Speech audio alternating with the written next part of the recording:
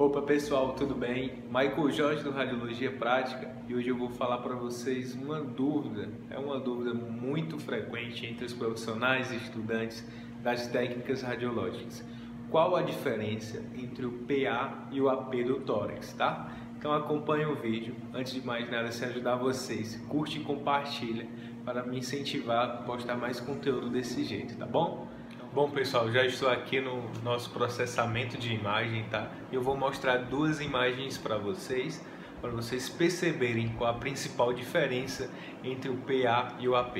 Se você sabe outras diferenças, posta aí nos comentários para ajudar quem estiver assistindo e aprender com o vídeo, tá bom? Bom pessoal, nós temos aqui a representação né, das duas imagens, dos dois tórax. Lembrando que esses tórax aqui são de pacientes diferentes.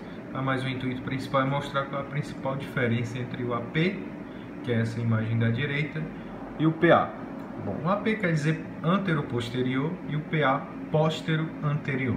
Tá? O AP, qual a principal diferença que visualizamos nessa imagem? Tá?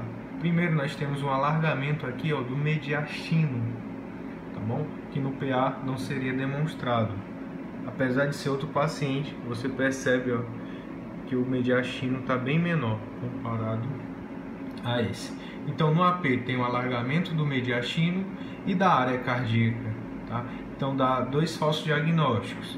Tá? Se não for identificado, pode confundir o médico, tá bom?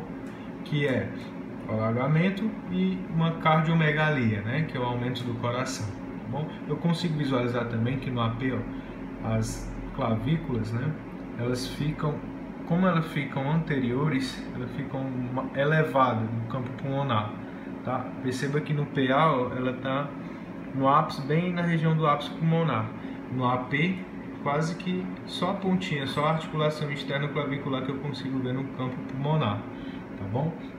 Então o que, que é importante, pessoal? Sempre quando for fazer um AP, seja no leito, seja é, na mesa como foi realizado esse exame, colocar a identificação lado direito, AP e decúbito dorsal, ou só lado direito decúbito dorsal, que já se entende que é um AP.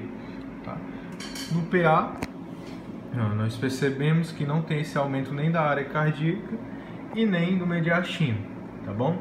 Outro fator importante, no AP, como a paciente está deitada, é, se for, no caso no leito, e deitada, a paciente não vai conseguir fazer uma inspiração correta. Se for feito em PA em ortostase, né, a paciente vai conseguir fazer, né, segundo a nossa literatura, que são as duas inspirações completas e prender a respiração. Infelizmente, no AP, com o paciente deitado, não tem como preencher bem os campos pulmonares. Tá? Então, essas são as principais diferenças. É, você que tem alguma diferença aí, você conhece já, deixa aí nos comentários para ajudar todo mundo aí, quem estiver é, vendo esse vídeo. E também qualquer dúvida pode me perguntar. Se ajudou você de alguma forma, você já sabe. Curte e compartilhe esse conteúdo. Forte abraço e fiquem com Deus.